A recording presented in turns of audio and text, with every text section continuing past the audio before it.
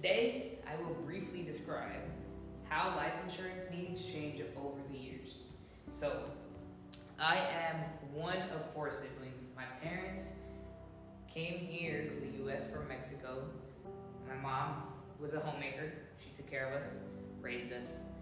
My dad also had part in raising us, but he was mostly a provider.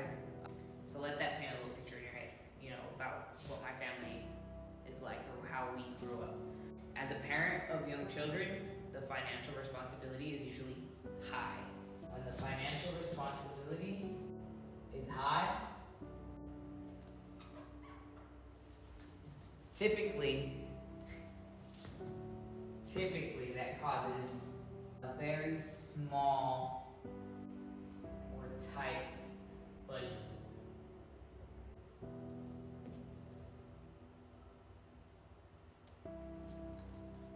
Does that sound familiar? I'm no stranger to the tight budget. Okay, I moved out when I was 18 and I was always on tight budget.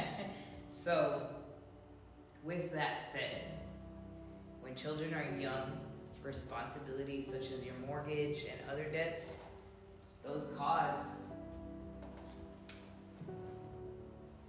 even higher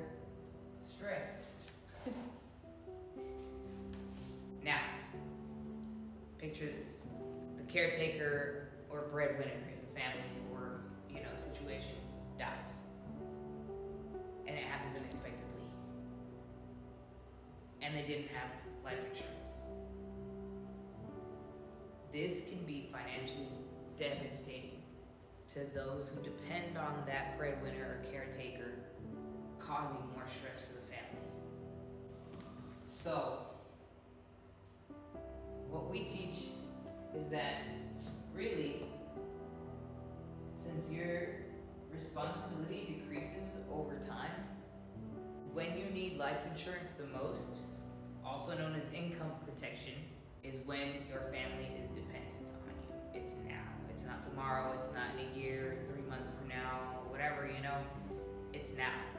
And I don't take it lightly because I've had a lot of loss in my life.